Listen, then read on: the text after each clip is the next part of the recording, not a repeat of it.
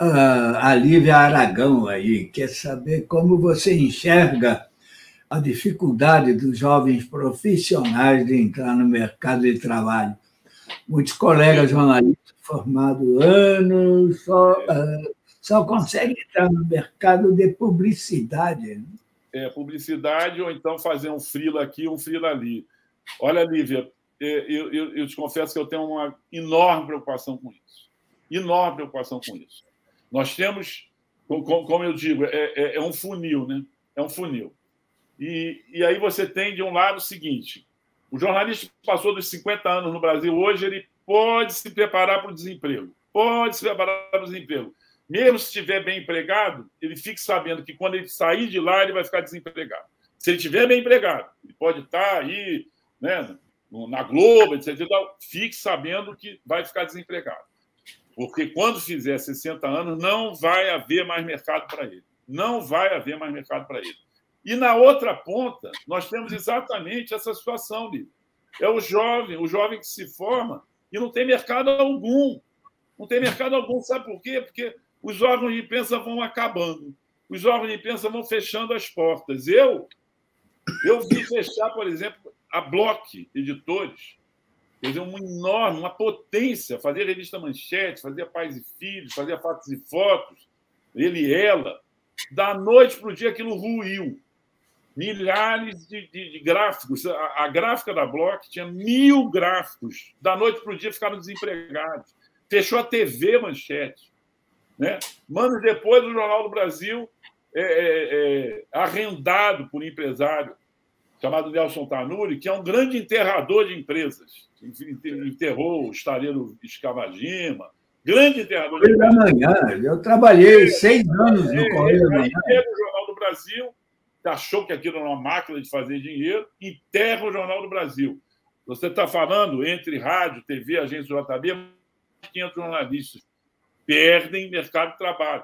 Né? Aí, e outros mais. Aí acaba em São Paulo também, Jornal da Tarde. A editora Abril, Lívia, quando eu trabalhei na editora Abril, na revista Veja, na Exame, a editora Abril tinha 4 mil funcionários. 4 mil funcionários. A editora Abril hoje tem a, a Veja que não é mais da editora Abril da família, né? Ela é do dono da Casa e Vídeo. O dono da Casa e Vídeo é hoje o dono da revista Veja, com uma pequena redação. É, da, da, da, África do Sul, aí, uma empresa sul-africana que é dona da Abril. Não é? E aí mantém alguma coisa lá em Brasília, uma pequena redação. A é, que eu trabalhei anos e anos, vive da mão para a boca. Uma redação mínima, mínima. A Isto é feita por, por oito pessoas em São Paulo. Oito, não tem mais sucursal em Brasília, não tem mais sucursal no Rio de Janeiro. Então, o mercado, o mercado foi minguando, minguando, minguando, minguando, minguando. Aí falo que a nossa profissão está precarizada. Ela não está precarizada, não. Ela está vivendo a maior crise da história dela. E aí o jovem, como é que o jovem, você tem toda a razão, como é que o jovem faz para sobreviver diante disso, entendeu?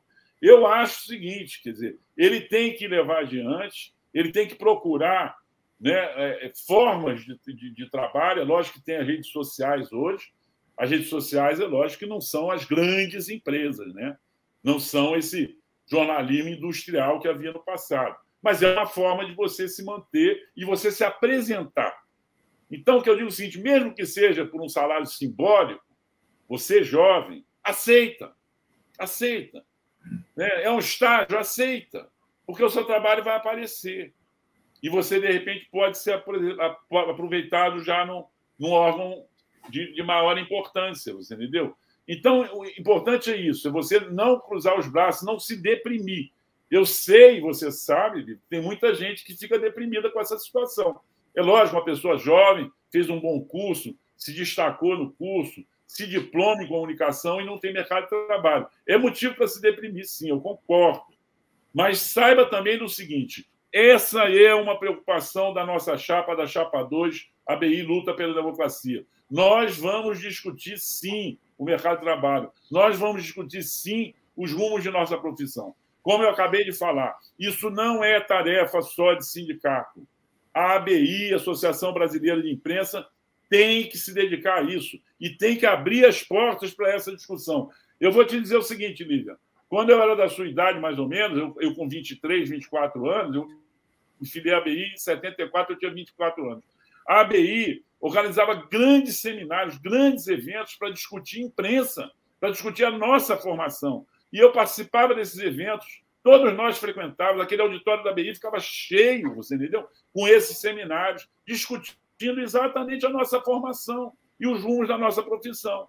Eu hoje tenho 71 anos, tudo bem, eu estou de saída, né, Lívia? Você está de entrada, você e outros jovens. Então é o seguinte: não fiquem descrentes, não. Tem gente pensando nisso, tem gente que vai se dedicar. Nós temos uma comissão de educação na nossa chapa, encabeçada pelo Vitor Iório, que é professor da UFRJ, e essa comissão vai se dedicar exatamente a esse tipo de questão.